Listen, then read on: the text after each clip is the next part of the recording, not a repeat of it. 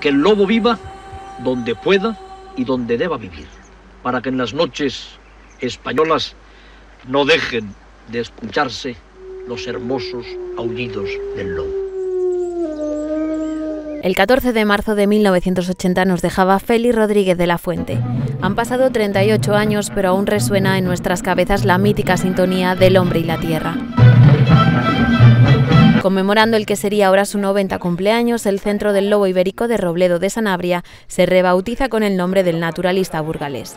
Su hija, acompañada del consejero de Fomento y Medio Ambiente, ha descubierto esta placa conmemorativa y ha querido, rodeada de amigos y compañeros de su padre, hacer un llamamiento para que el lobo y el hombre puedan coexistir. Que este lugar se convierta, con el nombre de mi padre, en un espacio de diálogo, donde cualquiera pueda entrar donde respetemos hasta el más radical si él entra con respeto a las demás opiniones y donde entre todos logremos forjar una, una tregua, una tregua para que pueda coexistir, que estoy convencida que sí podrá, el hombre y el lobo, y estoy convencida también que el lobo beneficiará al mundo rural y el mundo rural beneficiará al lobo.